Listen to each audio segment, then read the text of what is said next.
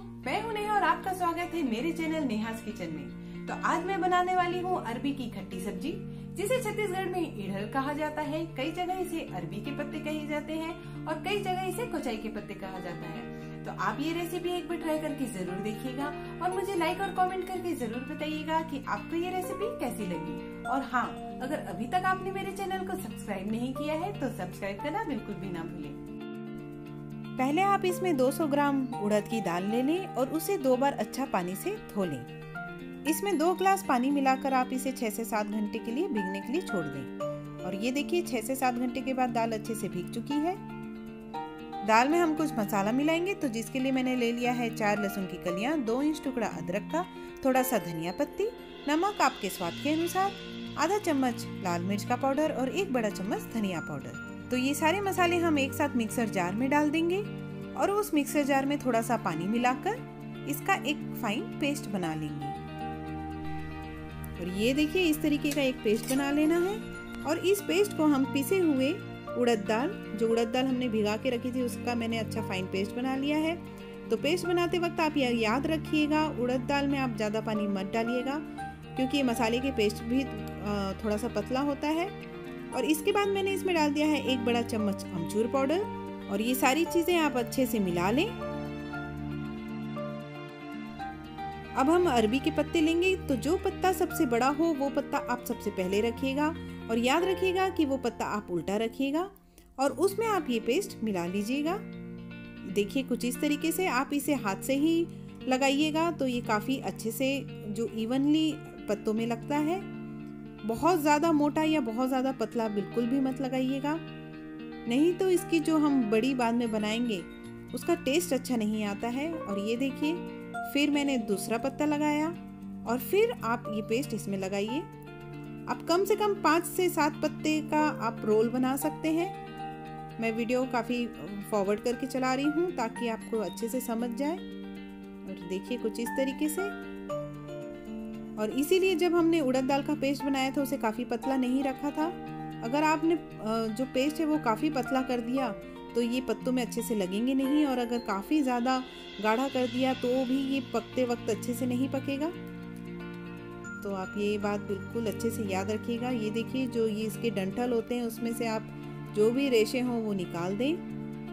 अमचूर powder आप इसमें ज़रूर डालिएगा। उससे इसका टेस्ट बहुत अच्छा आता है और कुछ अरबी के पत्ते ऐसे होते हैं जो खाने पर काफ़ी थ्रोट में ईचिंग होते हैं तो अमचूर पाउडर डालने से वो बिल्कुल ऐसे नहीं होंगे। और ये देखिए, एक चम्मच पेस्ट आप ज़रूर बचा के रखिएगा, मैं बाद में बताऊँगी कि वो पेस्ट हम कहाँ पर यूज़ करेंगे। तो आप ये पत्तों को आप अंदर की साइड मोड़ लें और अच्छा इसका एक रोल बना लें। देखिए, मैं इस तरीके से इसे काफ़ी अच्छे से फोल्ड कर रही हूँ।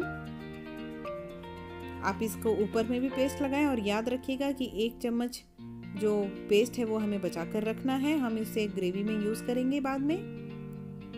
और काफ़ी अच्छे से सभी साइड से आप ये जो पेस्ट है उड़द दाल का उसे पत्तों में लगा दें, आगे और पीछे साइड से भी। और आप जैसे हम ढोकला या इडली बनाते हैं, हम इसे भाप में ही पकाएँगे, याद रखिएगा। आप इसे प्रेशर कुक बिल्कुल भी मत करिएगा। तो मीडियम फ्लेम में 20 से 25 मिनट आप इसे भाप में पकाइए, या जब तक जो दाल है वो पक नहीं जाती। अगर 20 से 25 मिनट में ये जो दाल है ना पके तो आप इसे 5 या 10 मिनट एक्स्ट्रा भाप में पका सकते हैं। देखिए, ऊपर से भी आप इसे उड़द दाल का पेस्ट अच्छे से लगा दीजिए। इसका टेस्ट बहुत ही अच्छा आता है सब्ज़ी में। तो चलिए इसे हम पका लेते हैं। तो जब तक ये पक रहा है चलिए हम कर लेते हैं इसकी ग्रेवी की तैयारी। तो ग्रेवी के लिए ले लें आप तीन मीडियम आकार के टमाटर, एक बड़ा चम्मच धनिया पाउडर, एक चम्मच लाल मिर्च का पाउडर, दो इंच टुकड़ा अदरक का, चार लहसुन की कलियाँ, थोड़े से कड़ी पत्ते, तीन चौथाई कटोरी दही का और दो बड़े चम्मच कसूरी मेथी का। कसूरी मेथी का टेस्ट सब्ज़ी में बहुत ही अच्छा आता है तो आप कसूरी मेथी ज़रूर डालिएगा। तो टमाटर, कसूरी मेथी और दही छोड़कर बाकी चीज़ों को आप मिक्सर में एक अच्छा सा पेस्ट बना लें। थोड़ा सा पानी मैंने इसमें डाला है ताकि इसका एक अच्छा सा पेस्ट बन सके। ये देखिए, थोड़ा सा दरदरा है और टमाटर को मैंने अलग से पेस्ट बना लिया है। और ये देखिए, जो बड़ी का हमने रोल बनाया था, वो अच्छे से पक चुका है तो आप इसे चाकू डालकर चेक कर सकते हैं। अगर चाकू जो है उसमें दाल नहीं चिपकी, इसका मतलब अच्छे से ये पक चुका है। और ये देखिए, इसे आप करीबन एक या डेढ़ इंच के शेप में राउंड शेप में आप इसे काट लें। ये देखिए कुछ इस तरीके से। तो इन सब बड़ियों को हम पहले शैलो फ्राई करेंगे पैन में। आप चाहे तो इसे डीप फ्राई भी कर सकते हैं, पर मैंने इसमें, इसको पहले शैलो फ्राई किया है, क्योंकि मुझे वैसा शैलो फ्राई किया हुआ बहुत पसंद है। तो पहले कढ़ाई में आप डाल दें कढ़ाई या तवा जो भी आपके पास हो, उसमें तेल।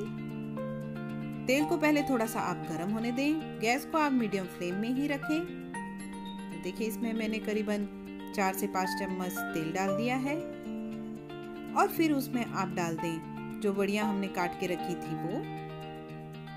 अगर आप इसे डीप फ्राई कर रहे हैं तो आप ऐसे ही उसे खा सकते हैं। बच्चों को डीप फ्राई किए हुए बड़ी बहुत ही अच्छे लगते हैं, क्योंकि वो खाने में बहुत ही कुरकुरे होते हैं। ये देखिए तो हम बड़ियों को अच्छे से पहले फ्राई कर लेते हैं। तो पहले जब ये एक साइड से फ्राई हो जाए आप इसे पलट कर दूसरे साइड से फ्राई कर लें। ये देखिए कुछ इस तरीके से। ये दोनों साइड से अच्छा गोल्डन ब्राउन हो जाना चाहिए। और ये देखिए वड़िया जो है, वो दोनों साइड से फ्राई होकर अच्छे से रेडी हो चुका है। तो सारी वड़ी आप ऐसे ही निकाल लें टिश्यू पेपर में। और चलिए हम बनाते हैं इसके साथ खाने वाली ग्रेवी। तो सेम कढ़ाई में मैंने एक चम्मच तेल और डाला है एक्स्ट्रा। और उसमें आप पहले डाल दें सरसों तो मैंने यहाँ आधा चम्मच सरसों लिया है। फिर डाल दें आप उसमें थोड़े कड़ी पत्ते और दो चुटकी हींग का। हींग ज़रूर डालिएगा, क्योंकि जो ग्रेवी होती है उसमें हींग का तड़का बहुत ही अच्छा लगता है। और उसमें आप डाल दें एक से दो हरी मिर्च, अगर आपको तीखा पसंद है तो आप इसमें ज़्यादा भी डाल सकते हैं। और फिर उसमें आप डाल दें दो बड़े चम्मच कसूरी मेथी, जो हमने मसाले में साथ में निकाल के रखा था। और उसके बाद आप डाल दें अदरक, लहसुन, धनिया पाउडर और लाल मिर्च का पेस्ट।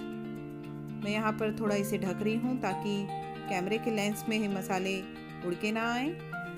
और बस आप इसे एक से दो मिनट तक अच्छे से भून लें ताकि जो अदरक, लहसुन का कच्चापन है वो निकल जाए। और ये इस वक्त आपको इसकी बहुत अच्छी खुशबू आएगी क्योंकि जो कसूरी मेथी हमने डाला है, उससे ये सब्ज़ी का फ्लेवर बहुत ही बढ़ जाता है। तो आप ज़रूर डालिएगा। और आप मसाले को लगातार चलाते रहें ताकि वो कढ़ाई से बिल्कुल भी मत चिपके। ये देखिए, अच्छे से अब भून चुका है। और इसके साथ ही आप इसमें डाल दें पीसे हुए टमाटर, जो टमाटर हमने पीस के रखा हुआ था। ये देखिए, और टमाटर डालने के साथ ही आप डाल दें इसमें नमक अपने स्वाद के अनुसार और आधा चम्मच हल्दी का। तो इसीलिए हल्दी मैंने पहले नहीं डाली थी। और इसे आप ढककर तब तक पकने दें, जब तक जो टमाटर है उसमें से तेला लगना हो जाए। तो वो करने में आपके पाँच से दस मिनट ही लगेंगे। और जो तीन चौथाई कप दही हमने रखा था, उसे आप मिक्सर में घुमा लें। करीबन कुछ पाँच दस सेकंड के लिए और ये देखिए। और जो एक चम्मच उड़द दाल का पेस्ट मैंने आपको कहा था, वो भी आप इस दही के साथ मिला लें। और ये देखिए, जो टमाटर है उसमें से तेल अलग हो रहा है। टमाटर अच्छे से पक चुके हैं। तो अब हम इसमें देरी नहीं करेंगे। और जो दही हमने फेंट के रखा है मिक्सर से घुमाकर, वो इसमें डाल देंगे। एक बात आप याद रखिएगा कि दही डालने के बाद आप इसे लगातार चलाते रहें और गैस का जो फ्लेम है, वो आप लो कर दें। ये देखिए, आप इसे कंटिन्यू मिलाते रहें।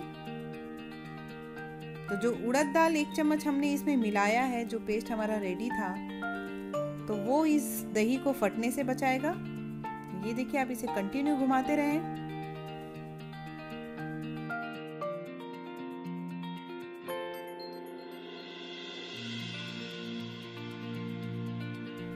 और जब दही में से तेल अलग होने लग जाए, तब आप उसमें डाल दें करीबन डेढ़ ग्लास पानी और उसमें अच्छे से आप उबाल आने दें।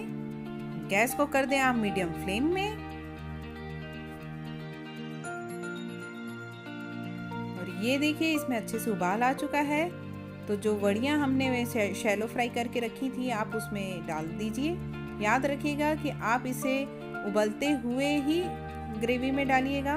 ये देखिए, और इसे आप ढककर पाँच मिनट के लिए पकने दें, ताकि जो वड़ी है उसमें ग्रेवी का बहुत अच्छा सा टेस्ट आ जाए। और ये देखिए, पाँच मिनट के बाद जो तेल है वो भी ऊपर आ चुका है ग्रेवी में।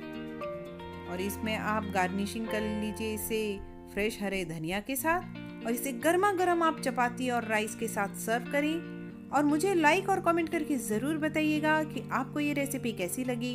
और अगर अभी तक आपने मेरे चैनल को सब्सक्राइब नहीं किया है तो सब्सक्राइब करना बिल्कुल भी ना भूलें।